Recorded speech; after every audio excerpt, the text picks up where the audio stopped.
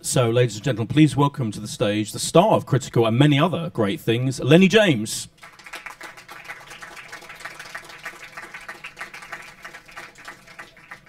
Uh, how are you? So, this show, um, I, as I said, I think it is probably the most kind of realistic and um, intense, I think is the word I would use, uh, drama I've ever seen, and dealing with this kind of medical situation. Um, when you were first approached to, to star in it, what, what was your first feeling about the whole kind of concept of it, really? Well, I kind of said yes straight away just because it was Jed. Jed Mercurio, so Jed Jed, Mercurio, Mercurio who wrote it. who wrote Line of Duty, yeah. which you starred the first Yeah, we got we first worked together on Line of Duty, and we hit it off. And um, I think at some point he had mentioned that he was going to do a medical drama, but he hadn't said anything more. So my first introduction to it was um, the scripts being sent and it being an offer. So I um, read it, but because of the nature of it, because the jargon is so strong, because um, it uh, this this um, the uh, race kind of starts the minute the clock goes on. Um, it's a script that I read more, I think, than any other script I've been sent, just because I didn't understand it, didn't know what anybody was talking about, um, didn't make any sense, and the guy I was playing um, wasn't in the first episode, so it was odd. But um, We should say he does pop up eventually. I do pop up eventually, um, but in that particular version, he wasn't in Oh, the first episode, okay. and um, so that was my first introduction to it. But once you get into it, it the the scripts are mesmerising, and I think um, that the final. Um, episodes that we've done, it, uh, this, it has really translated that you kind of have a, as you say, you kind of have a physical reaction to it, a kind of um, visceral reaction to it, um, as much as you do, you know, whether or not you're in, in enjoying the drama of the piece. Because we should say one of the many unique things about it is it's it's told in real time. So every week there's a case, there's a kind of extreme medical trauma case in this extraordinarily designed um, unit. Yes. In, in the in the show and. The story is told in that hour. Everything that happens in that hour is supposedly happening within an actual hour of, of how it would happen in real life. That makes sense. So Yes, that's a does. big challenge, both in terms of writing these episodes and I presume acting in them as well. It is um, because, um, firstly, if you're in a scene, you're in a scene. There's no escaping. You can't, you know, when it's on somebody else, you can't not be there. And the usual way that the process of us filming, particularly when we got into the operating theatre or when we were in resus, and everybody is around um, uh, the um, the patient, and it's a bit like filming a scene around a table. I don't know if you guys know about filming scenes around the table. They are notoriously um, time consuming because you have to do everybody's point of view to everybody else who's in the room. So even if it's three people around the table, um, that's a lot more um, time consuming than just two people standing opposite each other. And um, so when it's in an operating theatre and people are moving in different directions and collecting different things and bringing different things, and it's incredible. We would do, we did, I think, seven days on one um, operation, and for television, that's an exceptionally long amount of time. But also, the, we would do the acting. Um, so the cameras, any camera that was seeing faces, um, we would um, shoot those first, and then we would shoot the operation, which pretty much meant um, five cameras. There was always one camera rolling from above because that was also part of the set because we have monitors all around the operating theatre that is showing what we're doing. So that's running all the time. So it's six cameras on an operation, and um, and we and it plays out in real time. So if it was 20 I think the longest we did was 26 minutes but if it if the operation took 26 minutes we shot for 26 minutes each take Wow. Wow. Um, that is incredible. And as you said, there is a lot of jargon, medical jargon. I mean, you you play a very experienced um, surgeon. You kind of arrive, I say, to, to- without giving everything away, towards, you're not part of the team that's dealing with the first case, and then you arrive, you walk in, very an exciting manner, arrive on the case. Um, what, what kind of preparation did you do to play this kind of expert genius doctor? England has changed its um, kind of focus on critical care. So now, um, uh, trauma, they've set up 23 trauma units across the country, one of which, coincidentally, is the, um, my local hospital where I grew up. So it's St George's Hospital in Tooting, is now the trauma unit for southwest London and out into Surrey. And um, the unit there um, Heather Jarman, who is the um, the lead there, and Gary Matham, who is her deputy, they basically just opened their doors to us, really. And um, we started there as a group. There were, I think, we were there for two weeks um, with the whole team, and then each individual went with their equivalent. So I went with Gary Matham, who is a vascular surgeon and is a trauma surgeon, and I spent I think basically another two weeks, and then during filming, I would go and see him periodically. And I sat in um, in operations. I uh, hung out. I, I walked into other people's operations with him. I think I saw an amputation. I saw um, keyhole surgery. I saw a lot of because he's a vascular surgeon. So I saw a lot of um, uh, um, vascular surgery. Most of it was. Harvesting veins, if you can believe such a thing, and um, and using those to keep blood flowing either to um, the extremities, basically to hands and legs, and saving parts of people's bodies. And were you a squeamish person, or did you, were you happy to watch all of this uh, extraordinarily gory stuff? Happy is not necessarily the Okay. phrase I would use, but um, I wasn't squeamish. No, Okay. no. Okay. I found I was surprised by how how much it didn't um, freak me out, and I think part of that is is that in the operating theatre the the patient is anonymous. Right. They're covered. Only the bit that you're working on is the bit that you mostly kind of see. And I think also one of the things that's attractive about this production, I think um, actually uh, uh, someone who was interviewing me um, the other day mentioned it, is the part of um, the hospital that we show you that is most um, uh, um, uh, uh, focused on in our story is a part that none of you will see. Um, because um, if you're in that part of the theatre, you're unconscious. And if you're not unconscious, then you're in a really bad way. Yes. So um, it's an operating theatre and it's resus and it's people with critical injuries. And although we, you know, we um, play with the premise that we set up, it's pretty much hangs out all the way through. And did you find it? Um, how hard did you find it to learn all of that jargon and to kind of, essentially, you know, for the purposes of this series, become that doctor? I've never done as much homework on a gig as I have this, and I've been lucky in my career to kind of um, to um, be learning new skills. You know, I did a film called Among Giants, which was about men who paint electricity pylons. So I went and learned how to paint electricity pylons because we were filming on one of them, and we couldn't go up it without passing the the um, what you needed in order to paint electricity pylons. So for about four months, I had a qualification to paint electricity pylons if the acting didn't work out. And I've learned to ride motorbikes, scuba dive, do all of those kind of things. But on this one, um, every evening there was uh, homework, and the flat I was staying in, there were loads of bits of string hanging off of doorknobs and and uh, and off of um, chests of drawers where I'd be practicing my ties and all of that. And the way that you practice your sutures is on banana skin. So there would be kind of random bits of banana around my flat with bits of stitching in them. Nice. So, are you now a trained surgeon? Effectively, could you? Uh, I am, apart from the whole knowing what I'm doing. Oh, okay. All right. Apart from that, I Okay. am probably the best surgeon in the room. Yeah, I bet you are.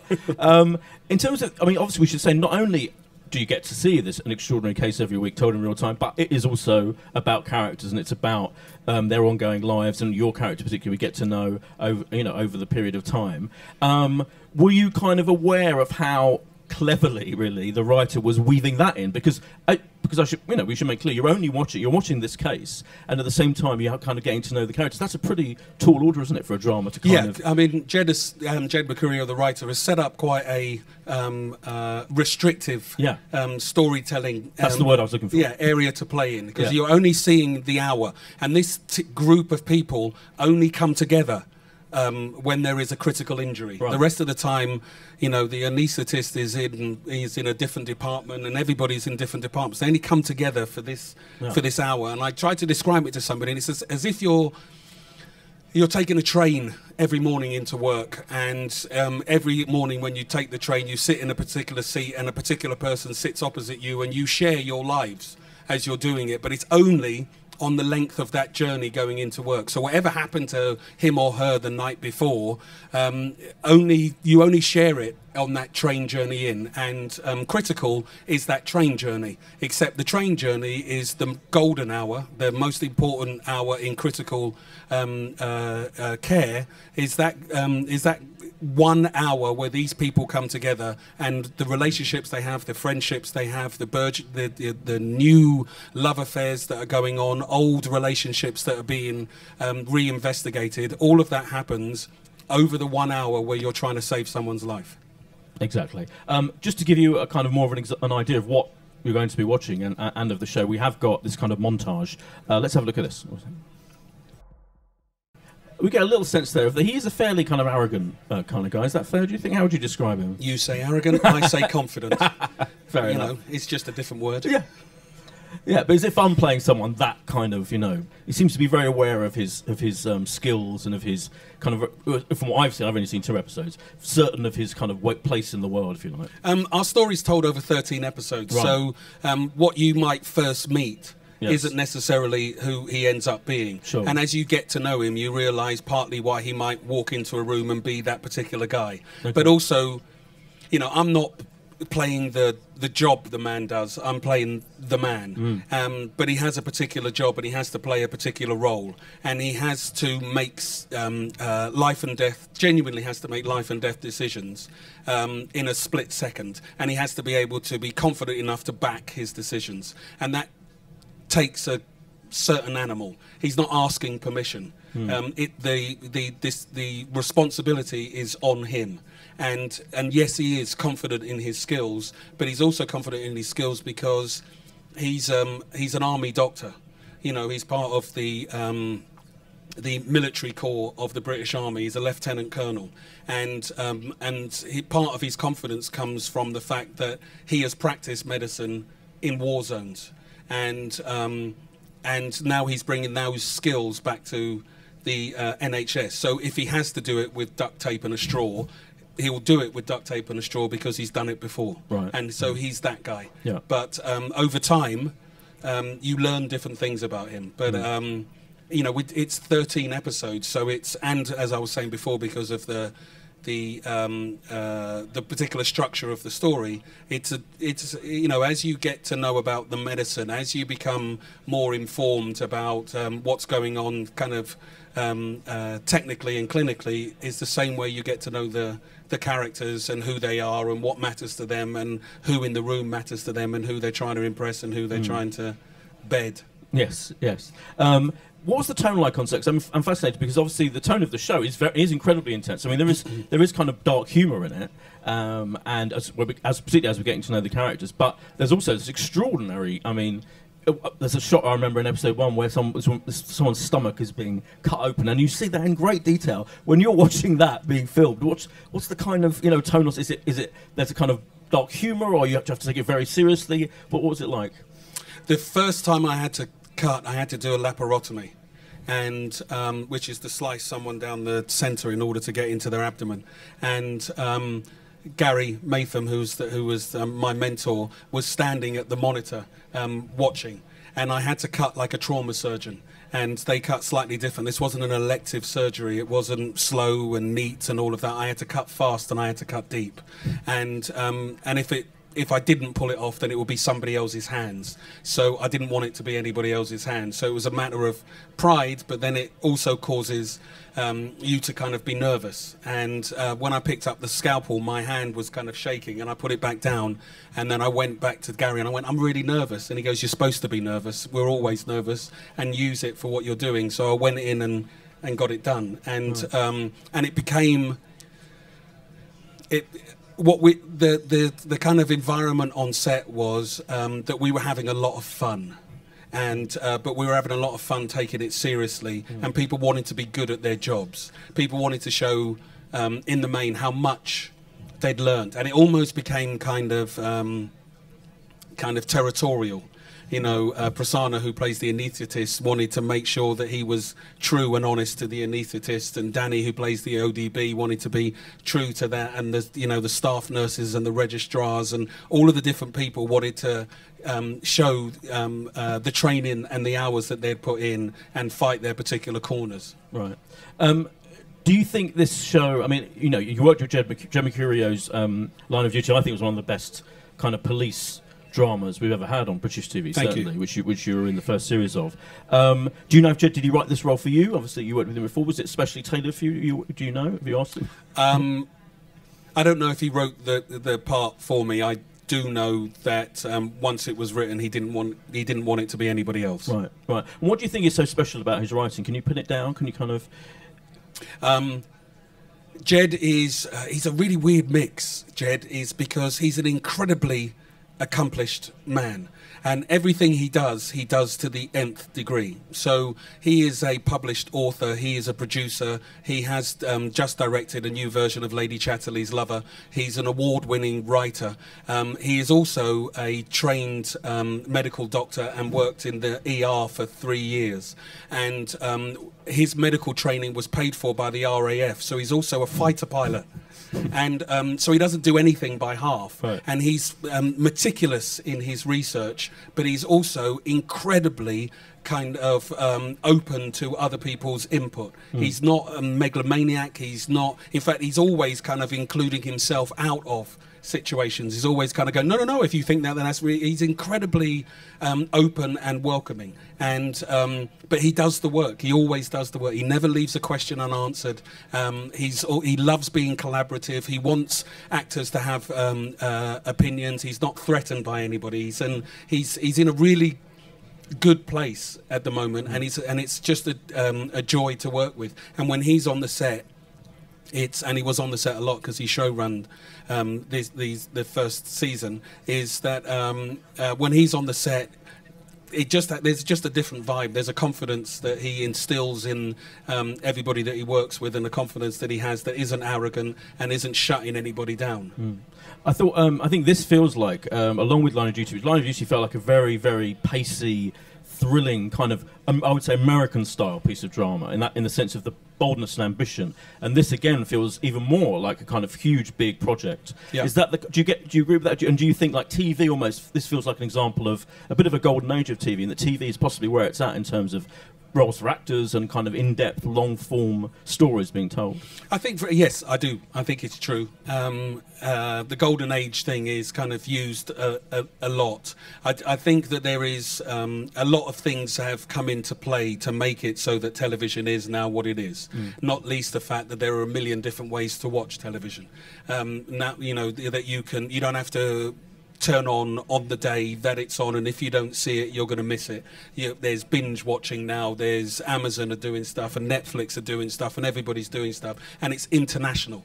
You know what we're making here isn't just for the British audience. You, you're making stuff now with a sense that it's going to be seen across the world, and um, and that's kind of what has made television golden because it's meant that people invest in it, and by investing in it, it means that the talent comes to it, and because the talent comes to it, more risks are taken, and because there's so much stuff being made.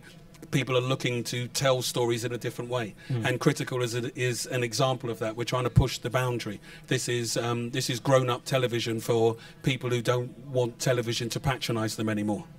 Do you think? Would you like it to be a kind of, you know, if it, if it does well, hopefully it does well, a kind of long-running thing that you could, you know, this could this could be the next few years of your life? Are you are you prepared for that? I am prepared for that. I'm also signed, Good. so Oh, good. I don't really have much choice. Excellent. Um, but also, it's um, yeah, absolutely. There's a there's a lot more story to tell, and a um, and I'd like to take this character a little bit further.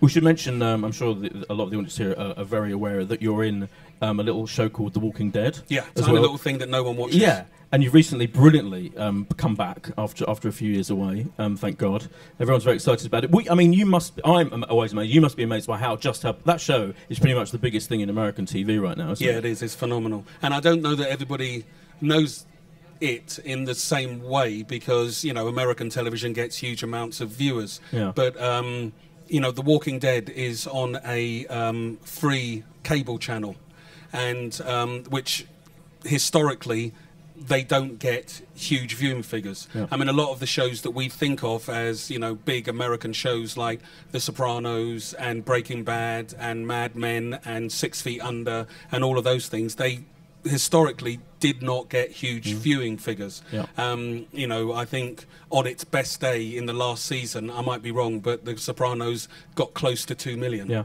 Um, on their last, um, uh, on the first episode of the new uh, series on on um, uh, The Walking Dead, it got close to 26 million people watching. Yeah. It is the only records it has left to break are its own.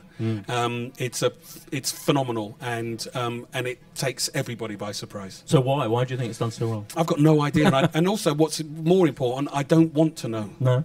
I don't. I don't want to. You know, if I ever walk back onto the, the set of The Walking Dead, I don't want to be in a situation where I kind of go, I know what works, and so I'm just going to keep doing that. Yeah. I mean, I think it's a um, it's a happy accident, and and again, I think it's a lot of people working at the top of their game and investing in their story, and um, and it reaches people, it touches people. And a lot of British acting talent. Obviously, Andrew Lincoln, the main main role, but uh, David Morrissey was in it as well. Yourself was that kind of that must be lovely that you'll get to kind of hang out with British people making this ama- amazing, massive show. It's very, it's very weird. He's going to hate me for telling you this story, but um, Andrew Lincoln, when uh, Andy, when he's, um, soon as he gets off the plane, they film in Atlanta.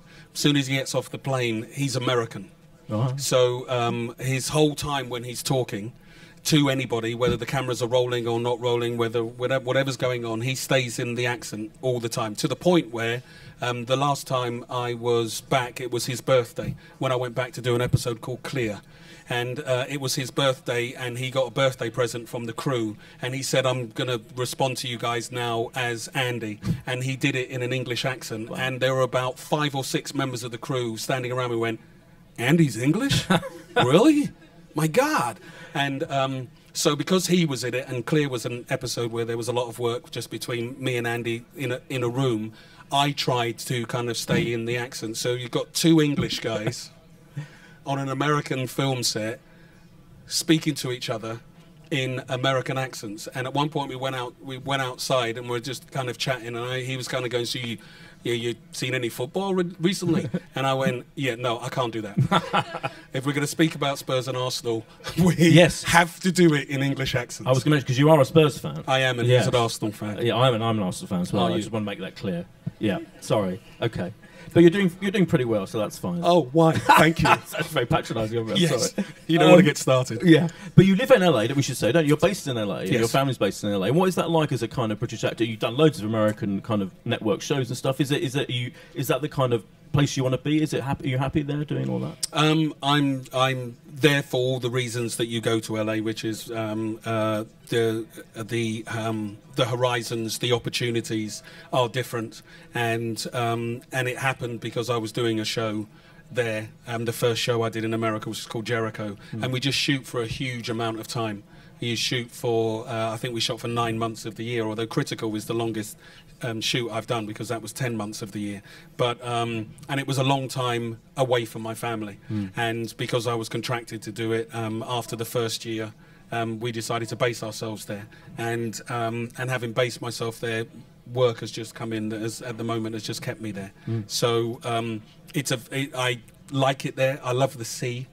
I love the weather, and um, and I like my spot um, that I've got there. And um, and if I can come back and do things like critical and line of duty, then um, it feels like I've got the best of both worlds really. And um, and for the work that I'm doing in America, I kind of need to be in America to to be able to walk into the rooms. Yeah, right.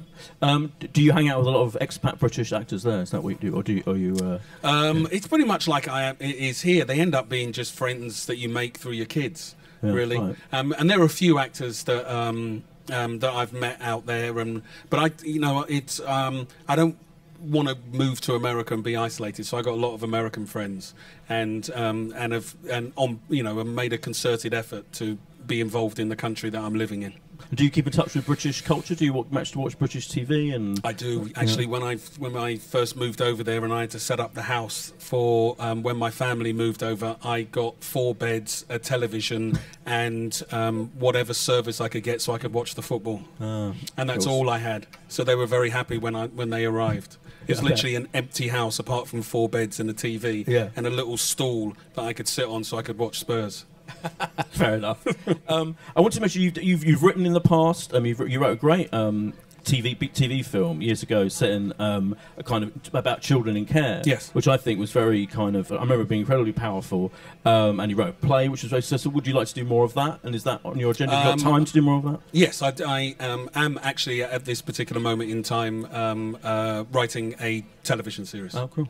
Yeah, I just finished the second episode. Can you say any more about I it? I can't, no. Oh, okay. But um, but it's um, it's exciting, and I think when I went to America because I was I had to hit the ground running, and I had to um, uh, focus on that, and because I was out of the country, I didn't want to be in America writing about um, England. So I um, uh, w- the writing for a minute just took a uh, a back seat, but um, now it that, that has kind of changed around, and I I kind of um, feel more settled and confident, and so um, I've kind of sold an idea that I'm trying to um, uh, move to the next stage so we can get it made. Oh, that's interesting. Oh, exciting.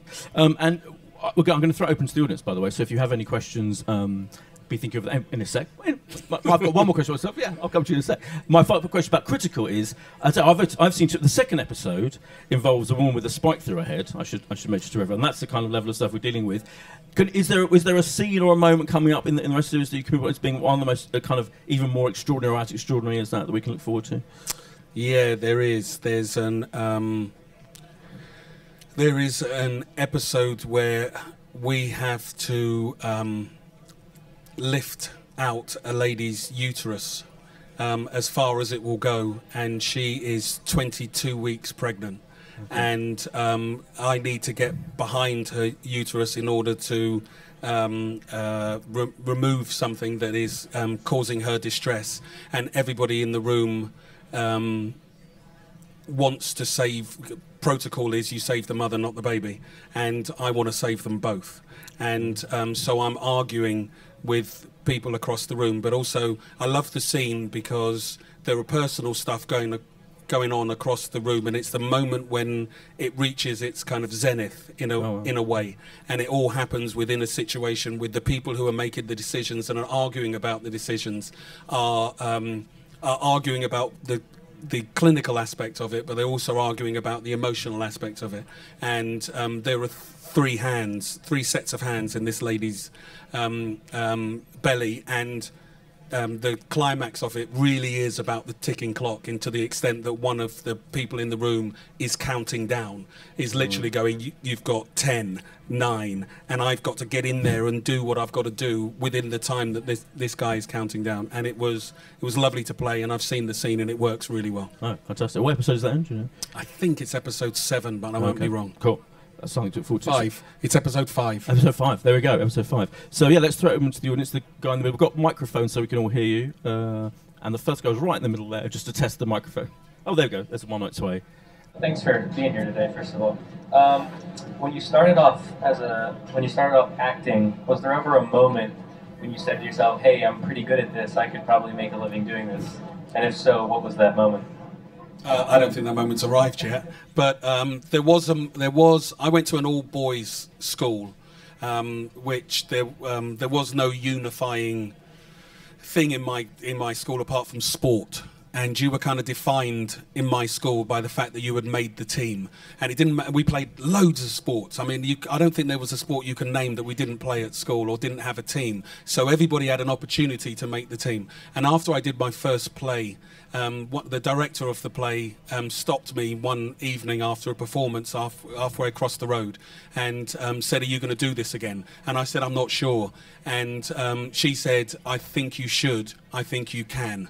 And it was like she was saying, You're good enough to be on the team. So, um, well, that's how I took it, really. And that's why I did a second play and then just carried on doing it. Thank you. With regards to your acting career, um, have you ever found you've had moments where, I mean, perhaps when you were first starting out, where you thought to yourself, should I carry on, should I not? Because you're not going to get acting roles all the time, and sometimes you play mental games with yourself, thinking, is this the right decision that I've done? How have you kept yourself going in the sense of from where you were once were to where you are now? Um, I've been very lucky, I have to say, and I've kind of worked continuously, or there's been the possibility of of work, and um, so uh, it's I can't in all honesty, talk about the sense of I'm not. I'm not. The longest period of unemployment I had was um, kind of I I think five months when uh, and that was quite recently when I first moved to America, and um, so I'm. Uh, very aware of how lucky I am in a business where at any one point 96% of the people who do what I do are unemployed. Um, so uh, I, I am aware of my luck and and the effort I put into it. But it was and it was partly why I started writing because of my fear of unemployment and um, and if somebody else wasn't if I wasn't gonna, um, the, one of the pe- best pieces of advice I got when I first started acting was uh, an older actor who said to me, "Make sure you can do something else," and um, and um, and that's um, what I decided to do. I love the the business of telling stories, so um, I figured if I if I could write, um, or I could try to write, um, then that was I could do it another way. Uh, but I was always expecting someone to tap me on the shoulder and go, "Mate, time's up, move aside." But um, so far, I've kind of kept ahead of the Scooby Doo hand. Thank you. And final question from the front row. Can you tell us something about you that no one knows? Good one. Um, I can do the Rubik's cube in under a minute. Wow. Have you got one on you? Can you? No. I'm not going to prove that. oh, for you. damn. Okay, Um, yeah, I can do the Rubik's cube. that's amazing. Oh, thanks. for that. Self-taught. A great, great last question. That must be helped with the surgery in uh, critical, maybe. I don't know. It shows you how Um, dexterous you are. With Yes. Your, yeah. Yeah. Didn't hurt. Okay. Um, so you've got about an hour and 50 minutes to rush home. Uh, oh, no, or even two hours and 50 minutes. Nine o'clock, Sky One. Critical starts tonight. Um, everyone should watch it. It is absolutely fantastic. Extraordinary series. Thanks to you all for coming. Thanks to your great questions. And thanks to Lennie James. Thank you.